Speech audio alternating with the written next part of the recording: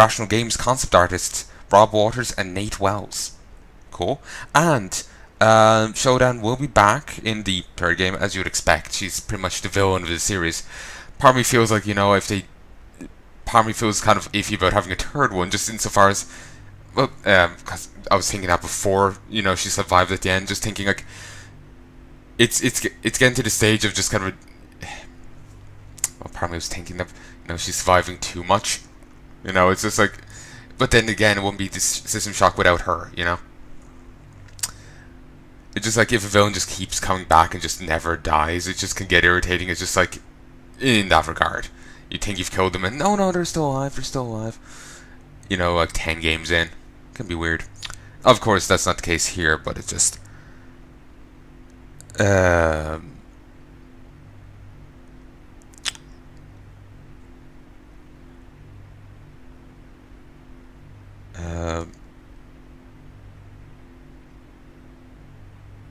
Oh, cool.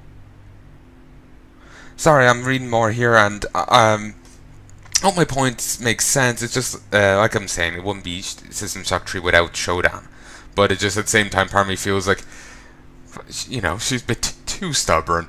It makes sense. It makes sense, all things considered. Just at the same time, part of me was thinking that, just like, can't she ever just fucking die?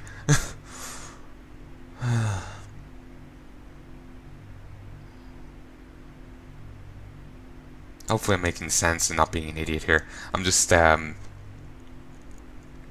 Basically, I'm just... It's kind of, um... Oh, what's it called? Um... Train of thought kind of thing, basically. I'm not fully thinking the thing out before I'm saying it. Most of the time, that works out fine for me, because the thought ends up coming out fully formed. Um, but in this case, it was just until I saw that little post credits thing where she, or they called it post credits here in the wiki. Um, you know, where she was it downloaded herself into the guy's um, girlfriend, fiance, woman thing. Um, this into her cybernetics. Uh, before that, it was just like, oh, so Shodan's dead and just suddenly back in the third one. It just, you know, if, you know, because I forgot that bit. I was thinking it was just like it's kind of pulling it out to their ass that oh she survived somehow. There's like a little date away for somewhere, and she came back from that again.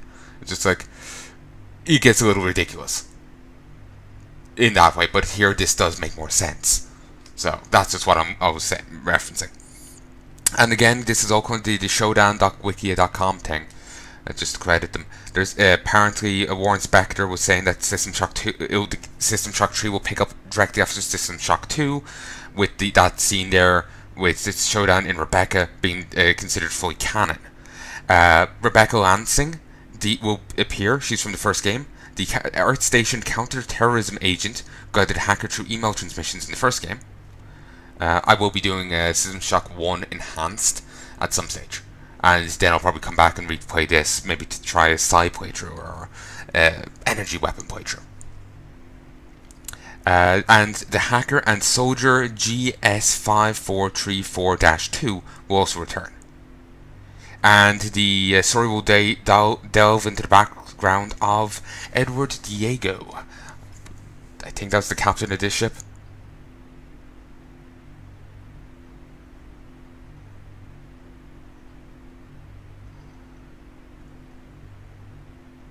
Oh no, he wasn't. He was the father of the guy, father of the Rickenbacker guy. He was the member I was saying before, according to the wiki, they were saying that he wants to be the anti-Diego. Oh, well, the anti one. Well, the captain of Rickenbacker wanted to be the anti of his father. We're talking about the, the father here.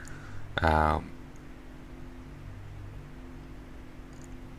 he, he was the guy who let loose Shodan in the first game, I think, or something. Okay, to be honest, uh, that thought didn't come out fully formed there. uh, I should have phrased it better. Uh, I kind of went on a non sequitur there. So my apologies. And Parity System Shock 3 will will have a, a major focus on, or major focus of System Shock 3 story will be on Sh- uh, motivations.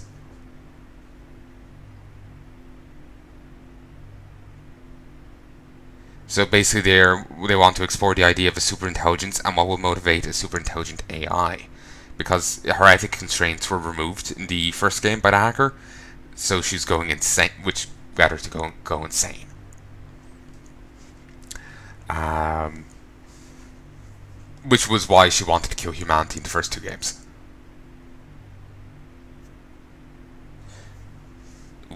Uh, so yeah, this is exciting.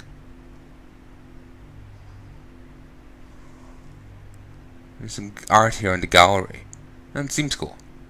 Shodan does look a lot different in it. Almost, I don't want to say too much so, just, I'm used to seeing her in like this level of graphics. It's almost weird to see her polished up. Does look very cool. I'm excited for it. I'm excited for it. Um, and I hope you've enjoyed this series, uh, this uh, Let's Play, folks. Um, and once again, just want to give major thanks to everyone who worked on System Shock 2. It's a very great game. It's a very good game. I quite enjoyed it, and I hope they're, you know, I wish them the best with whatever they're doing now. And I'm going to end this here.